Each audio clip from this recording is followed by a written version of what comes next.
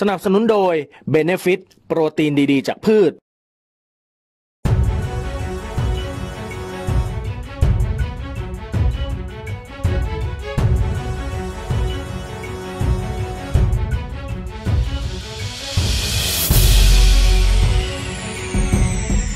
สารแขวงดุสิตถนนนครชัยศรีเจ้าหน้าที่ตำรวจกองปราบปรามนำตัวนายชวนนท์อินทรโกมารสุดอดีตโฆษกพักประชาธิปัตย์ จำเลยคดีหมายเลขดำอ640ทับ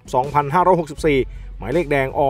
565 2565 ส่งสารแขวงดุสิตตามหมายจับสารแขวงดุสิต193ทับ2566ลงวันที่ 11 กรกฎาคม 2566 ความผิดตามพรบว่าด้วยความผิดอันเกิดจากการใช้เช็ค พศ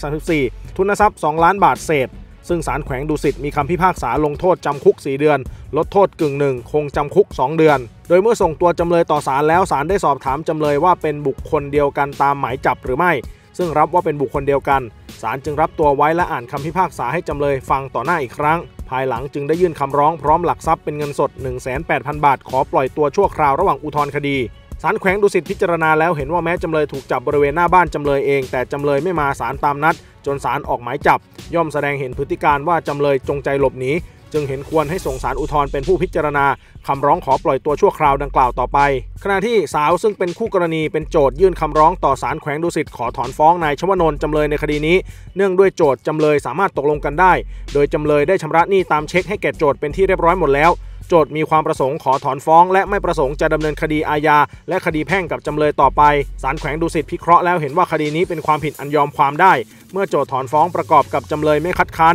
จึงอนุญาตให้โจทถอนฟ้อง และหมายปล่อยตัวจำเลย โดยให้แจ้งคำสั่งนี้แก่ศาลอุทธรณ์ทราบโดยเร็ว คดีเดิมศาลแขวงดุสิตเคยมีคำพิพากษาว่านายชวนนท์จำเลยมีความผิด ตามพรบว่าด้วยความผิดอันเกิดจากการใช้เช็ค พศ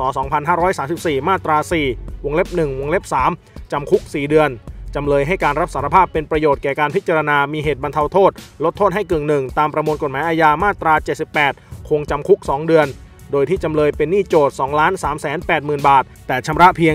720,000 บาท จึงยังไม่พอรอการลงโทษได้ แต่ให้ลงโทษสถานเบาเท่านั้นก่อนหน้านี้เมื่อวันที่ 19 กรกฎาคมที่ผ่านมา ผู้บังคับการกองปราบปรามพลตำรวจตรีมนตรีเทศขัน สั่งการให้พันตำรวจเอกพเด็จงามละม่อม ผู้กำกับการหนึ่งกองบังคับการกองปราบปราม พร้อมด้วยพันตำรวจตรีอนวัตรตันตินันทกุล สารวัตรกำกับการหนึ่งกองบังคับการกองปราบปรามนำกำลังจับกลุ่มนายชวนนอินทรโกมารสุดอายุ 48 ปี อดีตโฆษกพักประชาธิปัตย์และอดีตเลขานุการรัฐมนตรีว่าการกระทรวงการต่างประเทศ โดยเป็นการจับกลุ่มตามหมายจับสารแขวงดุสิตที่ 193ทับ2566 ลงวันที่ 11 กรกฎาคม 2566 ในความผิดตามพรบเช็ค พศ 2534 สามารถจับได้ที่บ้านเลขที่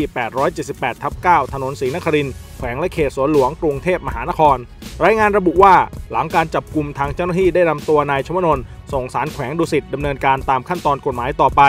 ทั้งนี้เมื่อปี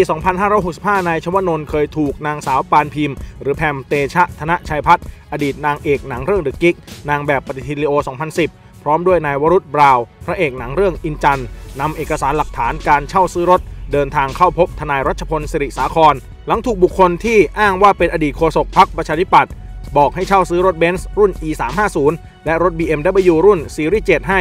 ซึ่งขณะนั้นพวกตนทำงานเป็นเลขาส่วนตัว แต่เมื่อออกรถทั้งสองคันมาให้แล้ว กลับไม่ยอมผ่อนส่งค่างงวดรถซ้ำยังนำรถไปจำนำอีกด้วย